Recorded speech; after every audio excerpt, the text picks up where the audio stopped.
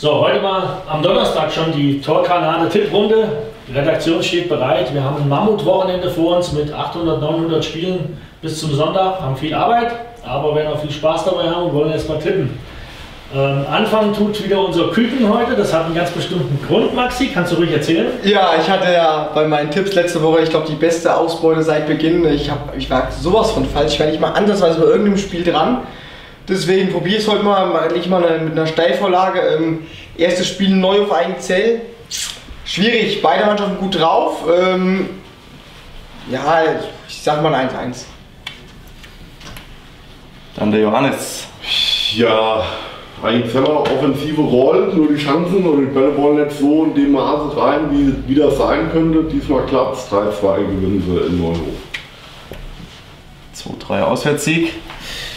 Ja, Neuhof hatte jetzt spielfrei, konnte sich ein bisschen ausruhen, das Geschehen beobachten. Die Eigenzeller sind, äh, wie du schon sagst, kommen immer mehr auf Touren. Ähm, individuelle Qualität ist bei Neuhof vielleicht ein Tick besser. Ich glaube, es wird ein Unentschieden und zwar mit vier Toren, 2 zu 2. Ja, äh, ich habe Neuhof gesehen gegen Bronzell, da haben sie sich sehr schwer getan, weil Bronzell gut gestanden hat. Eigenzell wird eher mitspielen. Aber Eigenzell hat viele Chancen jede Woche. Ähm, ich glaube, es wird verdammt eng und das 2-3 von Johannes kann ich nur unterstreichen. Eigenzell gewinnt der Neuhof. Auch 3-2, sagst du? Jawohl. Gut. Dann gehen wir eine Liga weiter drunter. Burghauen gegen Horras. Wobei, vielleicht spielt ja nächstes Jahr einer in der Gruppenliga. Mal gucken. Max, du darfst anfangen.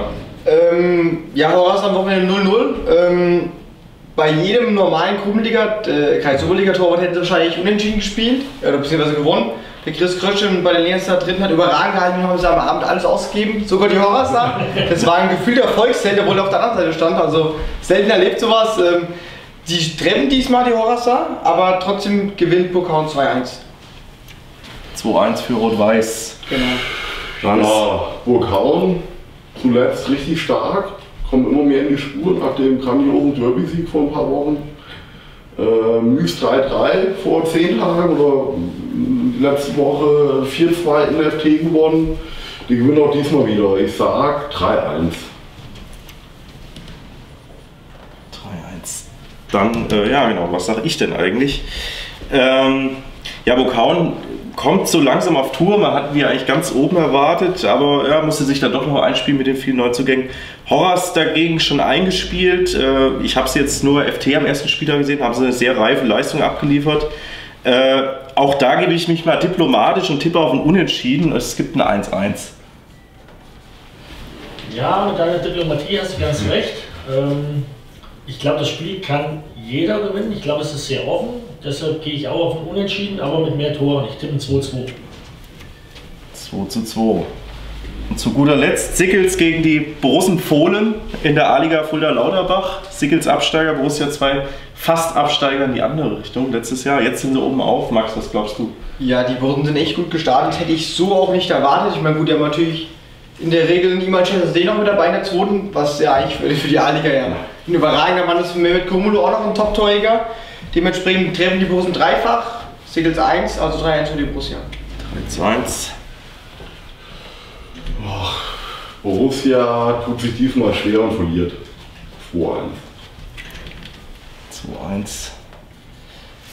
Ja, Sickles, da äh, hat sich jetzt auch einiges gefunden und äh, ja, aber ich, ich hab's halt irgendwie mit der Diplomatie. Ich glaube auch da schenken sich beide nicht viel und äh, die Sickelser äh, halten den Abstand zu Borussia zumindest und halten die Liga auch ein bisschen spannend damit. Ich glaube, es fallen immer Tore. 1-1 und 0-0 wird hier nicht getippt. Ralf. Ja, Sickles hat sechs der letzten sieben Spiele gewonnen. Äh, Borussia hat, glaube ich, in den letzten sechs Spielen 27 Tore geschossen in den Dreh, 27, 28 Tore. Äh, ihr habt es gesagt, Cesade, Koromlo da, Ösovaci, Doga da.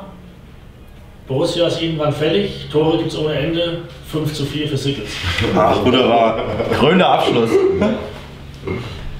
Gut, das war die Tipprunde für diese Woche. Ja, ich hoffe, es macht euch ein bisschen Spaß und ich hoffe, wir haben einige Kopftreffer.